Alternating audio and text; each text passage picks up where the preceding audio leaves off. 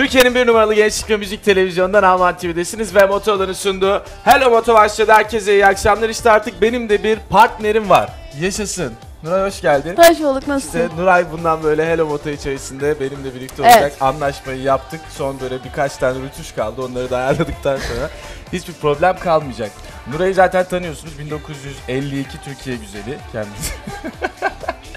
Nuray merhaba. Teşekkür ediyorum ya çok uzun zamandır kimse söylemiyordu. Söylediğin iyi oldu. İyilik sağlık sen ne yapıyorsun? Çok teşekkürler. Biraz sonra zaten konuğumuz da burada olacak. Evet Benim Esra de- Bolamir konuğumuz olacak arkadaşlar birazdan. Hani ben de bugün biraz konuk gibi olacağım ama hani yarın biraz daha ısınmış ve ortama ayak uydurmuş olurum diye düşünüyorum. Isıtın Nuray'ı nuray.navman.com.tr mail adresine e, mesajlarınızı Hacklemeden maillerinizi gönderin lütfen hacklemeyin mail adresimi. Esra Balamir Bal gibi e, albümüyle birlikte birazdan burada olacak. Bizimle birlikte bol bol sohbet edeceğiz. Ancak Esra Balamir gelene kadar biz biraz gün haberlerinden bahsedelim şöyle. Bahsedelim. İstanbul Film Festivali yaklaşıyor ve film festivalinde konuk olarak e, Emmanuel Bart gelecekti. Ancak Emmanuel Bart bir açıklama yaptı. İşte kadınlara şiddet uygulanan bir e, şehrin festivaline ben gelmem dedi kendisi ve daha sonrasında vazgeçti. Aradı iletti bunu. E şimdi kim gelecek diye beklerken Sofia Loren gelecekmiş İstanbul Film Evet. Festivali'ne konuk olarak ki Emmanuel Bart zaten gelseydi ödül alacaktı. E, yaşam boyu başarı ödülüydü galiba yanlış hatırlamıyorsam. evet, Şimdi yaşam Sofia Loren geliyor. Sofia Loren'e Aynı başarı. hani kim gelirse ona veriyorlar. Ya galiba birisini e, getirme derdi içerisinde. Yani birisi gelsin de biz gelene o ödülü verelim yeter ki gibisinden bir durum mu söz konusu? 1 Nisan'da başlıyor film festivali. Aklınızda bulunsun. Peki Nuray'cığım başka sen biraz şöyle bir şeylerden Ben mi? Şöyle bir şeylerden bahsetmem gerekirse benim zaten aklımda genellikle böyle magazinle ilgili haberler oluyor. Hani buraya da Ne baktığım kadar zaman magazinsel bir insansın. çok magazinsel bir insanım. Evet, sabahtan akşama kadar böyle magazin dergileri okumakla geçiriyorum. Özellikle bu aralarda günümü. Ee, ne söyleyebilirim? Cameron Diaz'ın güzel bir haberi varmış. Cameron Diaz da biliyorsunuz ee, neydi? Justin, Justin Timberlake. Timberlake. Neydi? Justin Timberlake evleneceklermiş. Bu yaz için evleneceklerini açıklamışlar. Bunun dışında ee, tatile çıkmışlar beraber ve tatil içerisinde çok ateşli bir şekilde öpüşürken paparazilere yakalanmışlar efendim. Ayıp ayıp böyle mucuk mucuk içerisinde yakalanmışlar kendileri. Peki Aşkın Kodap Namatif ekranlarında biraz sonra Esra Balamir de gelecek. Hiçbir yere ayrılmayın. Nuray da burada zaten. Of gelmeyin keyfimize değmeyin yani. Türkiye'nin bir numaralı gençlik ve müzik televizyondan Ambulan TV'desiniz ve Moto'ların sunduğu Hello Moto devam ediyor. Konuğumuz da geldi. Konuk Moto şeklinde biraz önce gösterdik zaten. Esra Balamir canlı canlı şu anda şurada. Hoş geldiniz. Hoş işte Esra bulduk. Balamir. işte Teşekkür ediyorum arkadaşlar. Nasılsınız? Estağfurullah. Teşekkürler. Gayet iyiyim, mutluyum, neşeliyim. ne kadar güzel belli zaten program öncesinde bayağı Değil mi? Bayağı bir bıcır bıcır. Ya zaten ne çekiyorsun o çok konuşmamdan çekiyorum. Vallahi neler Vallahi. geliyor ki başınıza? Ya işte böyle bir gün bir baktım VJ yaptılar çok konuşuyorum diye. Sonra ne zaman çok konuşsam mutlaka başıma bir şey gelir. Ha, sizde de öyle mi oldu yani VJ'liğe başlamam şans arkadaşlar. Evet, çok Siz şans. şarkıcı Böyle çok iyi. Vallahi konuştuğumu- istemiyordum. Hani çok iyi konuştuğumu düşünen, ben yine şarkı söylüyordum o yıllarda. Böyle çok iyi konuştuğumu düşünen bir arkadaşım deneme çekimi diye beni ekrana çıkarttı. Ee, ve ben bir baktım canlı yayındayım. Ölüyorum E, zannettim. deneme çekimi diye çıktınız Evet canlı evet. yayında Onlar başladınız. o kadar eminlermiş ki benim konuşacağımdan Ah, nasıl olsa becerirsin falan diye ve ben ondan sonra çok keyif aldım o işten. Çünkü televizyonda kendin olup para kazanıyorsun. İyi ki böyle Evet, deneme bir deneme şey çekimi diye böyle dağıtmadınız. Yani böyle küfürler ya da rahat Yok. bir şekilde Yok. konuşsaydınız. Zaten o kadar küçüktüm ki hiç karışacak. öyle şeyler aklım basmıyordu daha. Biz burada da şu anda deneme e, halindeyiz. Değil mi? Daha Kayıt yayında yapmıyoruz. değiliz. Ben relax relax Böyle anlatabilirim. söyleyeyim ki belki bir şeyler söylersiniz. Rating yaparız. Oho. Albüm hayırlı olsun. Bal gibi ne zaman e, çıktı? Geçen perşembe çıktı. Bebek Ee, daha. Evet Daha çok, çok çok, yeni. yeni. Çok yeni. Çok küçük. Bayağı. Nasıl e, tepkiler alıyorsunuz? Güzel insanlar şaşırıyor. Ee, Niye şaşırıyor? e, o kadar böyle düzgün şarkı söylediğimi düşünmemişler falan böyle enteresan.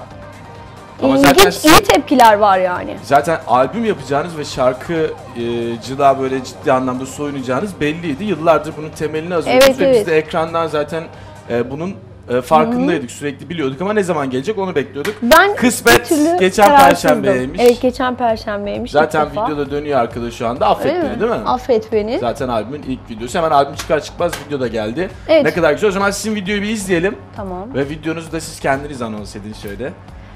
Ay bu çok zor oluyor. Hadi İşte kendim böyle. olmasa neler anons edeceğim ama efendim şimdi Esra Balamir'den Affet Beni izliyorsunuz. Yani benden size şarkı geliyor. Evet. Ve Number One TV ekranlarında Hello Moto'ya kaldığımız yerden tüm hızıyla devam ediyoruz. Esra Balamir konuğumuzdu. Esra Balamir'in o güzel videosunu da izledik. Bence video çok başarılı olmuş. Teşekkür ediyorum. Hani videoda biraz bence şey e, böyle baktığımız zaman ilk izlediğim zaman ben hani biraz daha böyle bir dans edersin diye bekledim. Hani Ama ilerleyen videolarda gelecek mi böyle bir şarkı- şey? E, slow şarkı olduğu için dans etmem söz konusu değildi ama e, beni orada çok iyi yansıttıkları bir sahne var. Bütün arkadaşlarım böyle mısırlara böyle elimle vurduğum bir sahne Evet. var böyle falan. Heh Esra tam kendin olmuşsun burada. Yani hiç Niye sevgili? oynamamışsın. As- asabi midir böyle? Ben sinirlendim ama anında böyle vurabilirim bir şeye yani. Her şey böyle Ama çap bir çap. tek evdeki eşyalarıma zarar vermiyorum. Hayatta ya. Onları hayatta yani şöyle bir bardağı bile itekleyemem bu arada. Tabii kağıdı itekliyorsunuz ama bu önemli yani. Listeyi de ben hazırladım. evet ben de sizin eşyanızı görmeyeyim onu itekleyeceğim söyleyeyim. Bu kağıt önemli o yüzden saklayalım Esra Ha, Balamir'e. evet Şimdi- Şimdi... orada tut. Ee, çok enteresan bir remix hikayesi varmış sizin. Yani Evet stüdyo ya. içerisinde bir albüm kaydı sırasında sizin e, Kapıya. kafanızı çarpmanız mı? Kafamı kapıya çarpmadım. Şöyle izah edeyim arkadaşlar. E, cam kapı ve kapalıymış. Ve ben onu açık Ha. zannediyorum. Şarkı sözü yazdım. İlk kez bir kayıt yapacağım. Cihazı bana verdiler. Dediler ki al Esra'cığım git içe- yani şey bunu kaydet. Ben de böyle yaptım. Ama ben herkesin içini kaydedemem. Ben yukarı çıkayım dedim. O heyecanla kapalı kapıyı yani cam olan kapıyı açık zannedip çutonk diye kapıyı Ay. bir tosladım. Tabii e, ben beyin kanaması geçirdiğim esnada bütün stüdyodaki herkes gülme krizi geçiriyordu. Ha diye gülüyor ama kimse bana demiyor. İyi misin? Başın dönüyor mu? Hani kafanı çarptın falan. Ve e, elimdeki kayıt cihazı olduğu için o sesi işte Hepsini aktardık. Bir baktım işte mix aşamasında remix yapılıyor falan. Aa ne oldu onu da kasetin sonuna koysak o sizin o bana gülmenizi falan işte ne kadar vicdansızsınız görseler falan derken remix çalmaya başladı. Bir baktım kaydediyor mu şu anda diye ben bir başlamışım. O remixin içine o kafamı çarpmamı, insanların gülüşlerini falan kayıt yapmışlar. Çok enteresan bir şey olmuş ama. Evet, Albüm kafayı- içerisinde var mı bu şimdi bu remix? Var. Hangisi? Affet Beni Remix. Ee, hayır değil, bal Değil gibi mi? remix. Bal gibi remix. Hem 5 5 numarada CD içerisinde. Yani siz böyle ben şunu kaydedeyim gelip dış olduktan sonra evet, onların çok hoşuna gitti. Çok zevk aldılar. aa çok enteresan ya. Güzel bir şey, değişik bir şey. Ee, dinlemek de isterim. Merak ettim açıkçası. Kafayı Tamam. vurduk falan böyle öyle altta ritimler öyle Evet bir evet şeyler böyle bir anda müzik yükseliyor yükseliyor. Çutonk diye bir ses Zaten geliyor. şöyle bir şey var. Benim elimdeki bilgiler içerisinde doğru olan bir tek o çıktı. Diğerleri Evet. fasafiso çıktı. Duygu Fake fake. Selamlar, sevgiler gönderiyoruz. Albüm aşaması ne kadar sürdü, neler yaptığınızı biraz sonra konuşalım. Önce bir video izleyelim. DM Colin Beach, Naman TV ekranlarında daha sonra kaldığımız yerden devam edelim. Esra Balamir ve Nuray'la birlikte. Türkiye'nin bir numaralı gençlik ve müzik televizyonunda Number One TV'desiniz ve Moto'ların sunduğu Hello Moto devam ediyor. Esra Balamir'le birlikte. Şimdi albümün e, çıkış ve başlangıç ve bitiş aşaması ne kadar sürdü? Ee, yaklaşık bir 6-7 ay sürdü. Çünkü ben o arada bir 12 gün kadar çiftliğe gittim. Çıktıktan sonra tabii terapi görmem falan bir, benim bir, bir ayıma mal oldu. Ya bir de şimdi. Türkiye'de ünlülerimizin şöyle bir hikayesi var artık. Yani konuşurken böyle insan şey- ben bir ara çiftliğe gittim 25 gün falan gibisinden. İnsana bir Ben 12 enteresan geliyor. Hani 12 gün siz de 12 asır gibi geldi ama 12 gün yoktu. oradan kavga edip ayrılanlardanmışsınız E ben galiba. terk ettim evi en sonunda dayanamadım. Yani hani hem hava şartları kötü hem böyle hiç hani E peki nasıl bir duygu orada hani gidip de e, sonuç olarak hani ben orada oluyor olsam mesela hani orada yiyecek yemek yok et istesen bulamıyorsun bilmem ne aç kalıyorsun falan filan nasıl dayan ben 12 gün bile Ben dayanamazdım e, mesela. bir de şöyle bir şey var. Ben hayatımda hiç düzenli yemek yemedim. Böyle işte e, sabah öğle akşam yemeği gibi. Ama orada aç kalma korkusuyla sabah öğle akşam rutin yemek yedim. Ondan sonra bir baktım kilo aldım yani. Çıktığım zaman bir de kilo problemim vardı. Çünkü ben ya aç kalırsam ya mesela ekmek buluyorsun peynir yok. O ekmekler de biz kendimiz yaptığımız için şu sertlik. Taş gibi. Sizce böyle yapıyorum. Dişim mi kırılacak, ekmek mi kırılacak diye böyle birbirimize gülerek o ekmekleri yedik. Sonra sonra ekmeği Niye biraz güzel yapmaya başladı. suyunu biraz fazla katsaydınız? Ben hiç denemedim zaten. Kızartırken Ekmek herhalde şey yapıyorlarmış biraz fırında fazla bekletiyorlarmış. Ya bir de şey Nerede e, o hırs- fırın? hırsızlık var? falan da galiba yapmak zorunda mı kalmışsınız? Bir şeyler böyle para Ha evet vermeden almak arkadaşlar zorunda peynir çaldı. Doğru peynir çaldılar. Allah'ım Ama o peynir- Ünlüler peynir çalıyorlar Yani neden o pazardan? peynir hiç o kadar tatlı ve lezzetli gelmemişti yani. Böyle bütün Tövbe altından kimse böyle... bunu söylemeyin şimdi. Çalınmış peynir ne kadar tatlı Allah Ya şimdi bir de o kadar zaman geçti. Mesela çantasında çikolata olan arkadaşlar var. Böyle işte bir takım böyle ufak tefek şey. Her geçen benim elime bir şey tutuşturuyordu. Ama hep bana böyle. Hani ben böyle, ne şanslıyım herkes bana bir şey veriyor diye seviniyordum ama çıktığımda acısını çektim.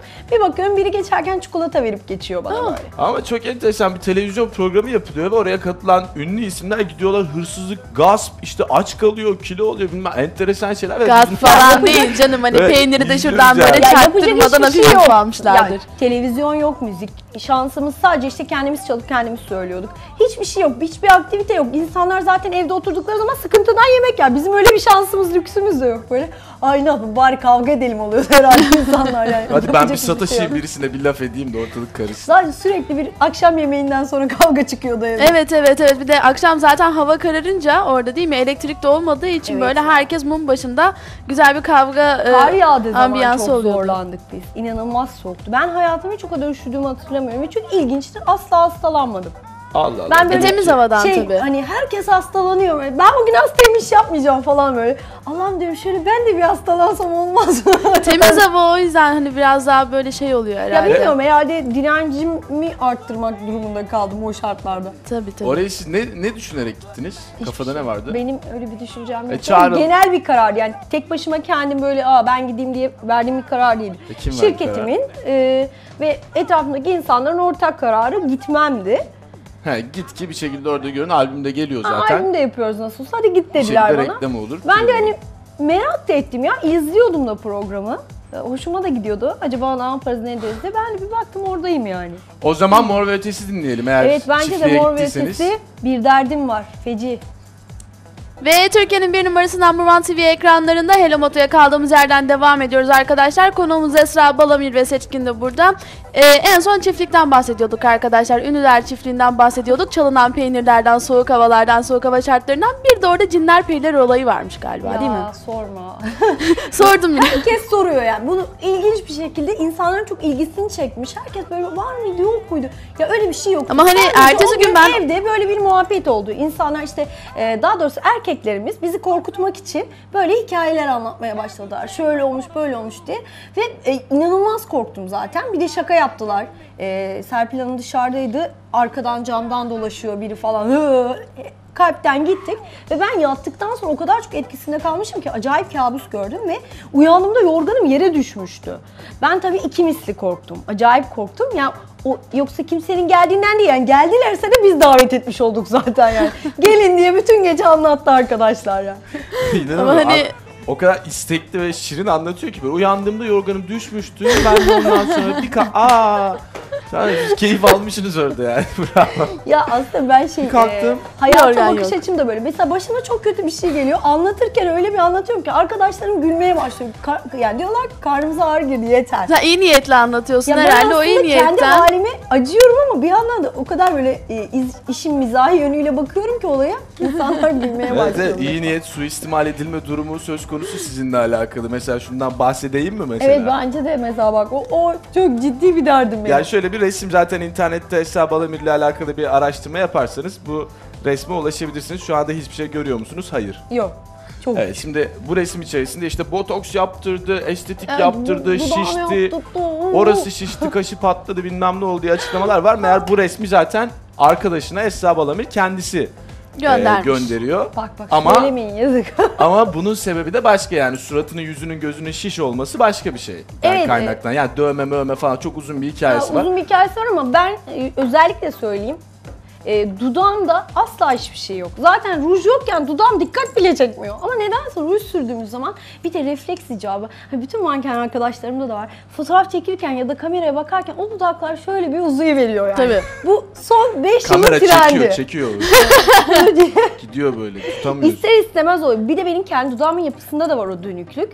Daha çok öne çıkıyor. Ama rujsuzken kimse böyle bir şey anlamıyor. Mesela anneme falan da çok sorarlar. Hatta benim kız arkadaşlarım bana inanmazlarmış. Ben böyle 16 yaşındaki klibimi izlettiğim zaman ve bir dönem sonra bir başka yerde bu sorulduğu zaman kız arkadaşım hemen atladı. Yok yok değil. Ben de gördüm. Küçüklük resimlerini de gördüm. Klibinde de öyleydi. 16 yaşındaymış o klip falan. diye Rujunuz silikonlu olmasın.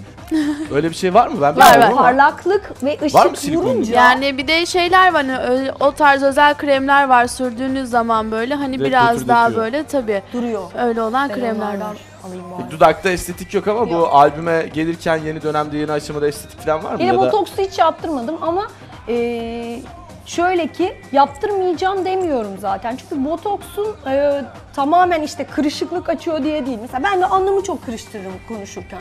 Ya mesela o özelliğimin gitmesini istiyorum. Çünkü ekranda bu çok kötü gözüküyor bana göre. Tabii. Hani yaptırırsam da belki onun için yaptırabilirim ileride. Hani yani estetiğe karşı olmak bence saçma bir şey ama tabii hani insanların yaşı Dozunda, her geldiğinde şey dozunda, dozunda, yaptırılması normal bir, Bir de şey. mesela sanki benim işte böyle her tarafıma estetik yaptırmışım gibi bir e, şey imaj oluştu. Çünkü ben böyle Ya bir- Evet, evet, hani bir kere var yaptırdıysan mesela. söyleyelim Tamam, bu ben konu söyleyeyim, ben kapansın burnumu yani. yaptırdım. Evet. E, kaldı ki ben burnumu aslında 4-5 sene önce yaptırdım ama ben 10 yıldır ekrana çıkıyorum. Zaten ekrana çıktığımda ve insanlar bir takım programlar sunduğunda burnumda bir şey yoktu. Ben sonradan yaptım. Çok büyük bir değişiklik de olmadı benim hayatımda.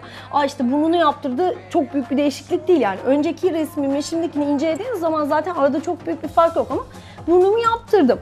Tavsiye ediyor muyum insanlara? Bunu da söylüyorum.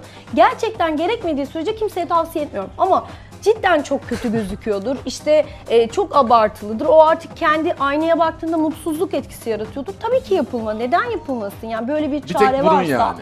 Evet, bir tek Tamam. burnunda. O zaman buradan bu konuyu da e, çözümlemiş olduk. Esra Balamir'in bir tek burnunda var estetik. Başka bir şey konuşmayın lütfen. Peki, Yeter. Teşekkür ediyoruz. Abartmayın. Eminem burada Just Use It sizin izlemek istediğiniz videolardan bir tanesi daha olarak karşımıza geliyor. Ne kadar güzel playlistimizin birçoğunu siz belirlediniz bugün. Evet, bugün Müzik playlist de zevkinize de bana hayran ait. kaldık birlikte. Teşekkür ediyorum. Just Use It TV ekranlarında daha sonrasında Hello Moto burada olacak Esra Balamir ile birlikte hiçbir yere gitmeyin. Tamam. Türkiye'nin bir numaralı gençlik ve müzik televizyonunda Number One TV'desiniz ve Motorların sunduğu Hello Moto ve Esra Balamir ile birlikte devam ediyor. Ben bir şey deniyorum ama başaramıyorum. Şu albümle alakalı e, neler istiyordunuz? Ne yapmayı düşünüyordunuz? Albüm oldu, istekler ve sonuç karşılaştırdığınızda Ee, ben sizi yaptığım tatmin etti işe, mi? evet yaptığım işe çok inandım. Ee, bu defa ekibim çok doğruydu. Sevgili Bayıken e, hem müzik yönetmenliğini hem aranjörlüğümü yaptı ve çok e, rahat çalıştım kendisiyle. Serdar Ortaç'tan şarkı aldım, Metin Aralat'tan aldım, Ersay'dan aldım, Tuzan Kurter, Suda Bilge. Yani bir, bir, sürü isim var. Saymadım mı da ayıp oluyor diye saydım hepsini. E, cidden böyle istediğim bir ekiple çalıştım ve şarkıları çok içime sinerek ve kendimi anlattığını düşünerek seçtim. Çünkü benim ruhumda garip bir asilik olduğunu düşünüyorum.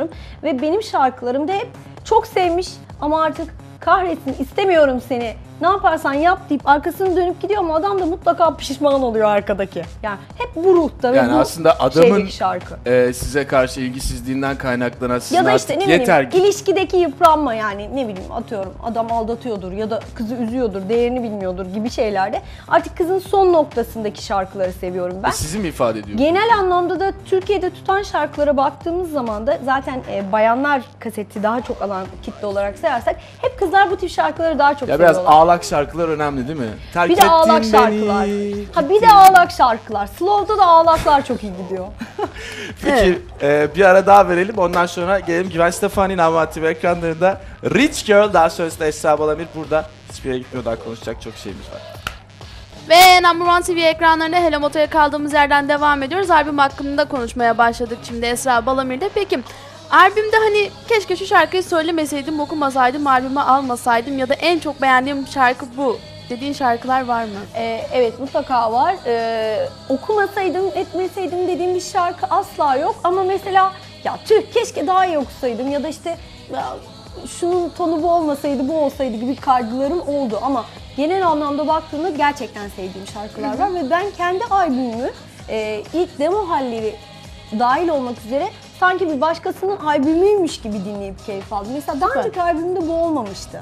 Ama bu albümümde kendi albümümdeki Bu sözlerden de herhalde biraz Evet, kaynaklanıyor e, değil slow mi? şarkıları özellikle çok seviyorum. Yani bütün slowların birbirinden güzel geliyor bana yani. Hani ölene kadar söylerim ben bu şarkıyı. Hiç bıkmam dediğim bir şarkı var mı albüm içinde? Ee, evet. Hani buradan şeyi çıkartmaya çalışıyorum. Belki hani mazide bir şeyler olmuştur, onu hatırlatıyordur sana. Belki Tamam. o yüzden çok fazla Ee, seviyorsundur Serdar'ın şarkısını çok seviyorum. Bu aşkın kimseye bir faydası yok. Ee, bir de Metin Altın şarkısını cidden çok seviyorum.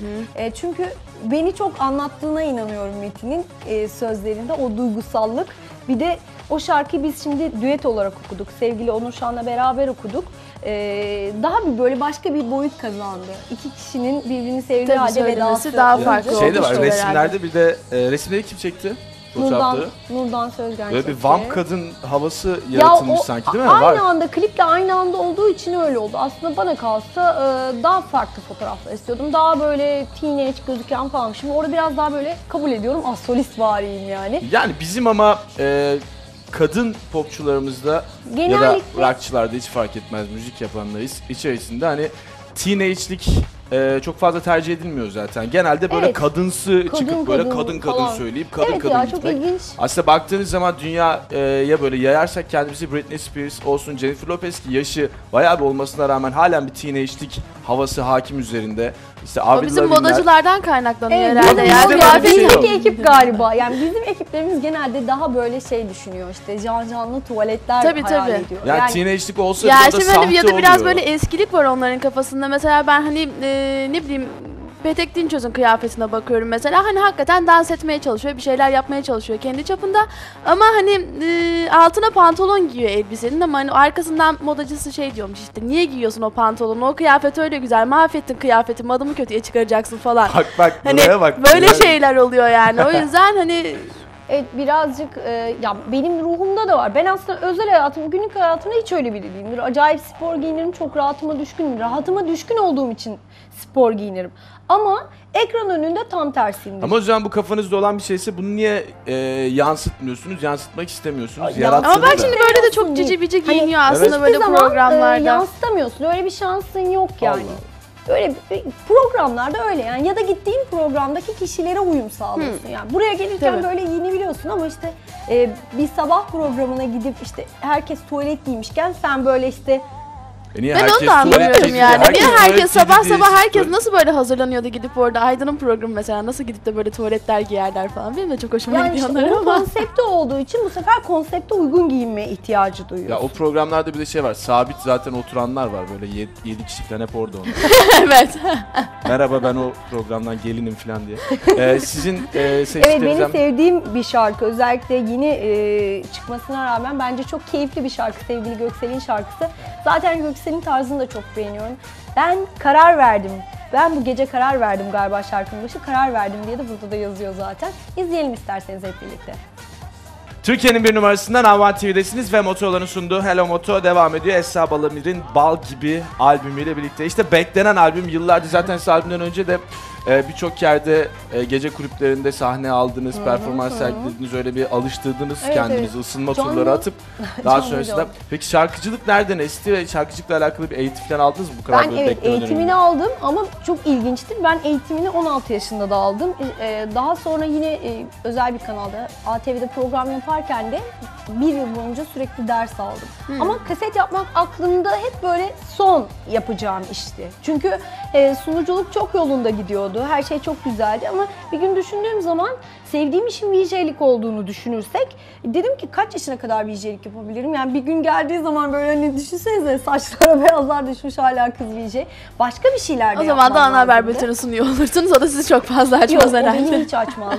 Ee, doğal olarak artık değişik bir şey yapma zamanım geldiği için böyle bir geçiş yaptım. Yani Hmm. sunuculuktan artık tamamen çıkıp tekrar başa döndüm. Aslında Ha, ilk şeyden başta yani artık 16 böyle... yaşında bir albümüm var benim. Nasıl yani? Tabii ben o zamanlar e, Ozan Orhan'a vokal yapıyordum. Ozan'ın albümü çok böyle patlamış olduğu bir dönemde. E, ilk çıkış dönemi. Böyle beni sahnede keşfediyorlar.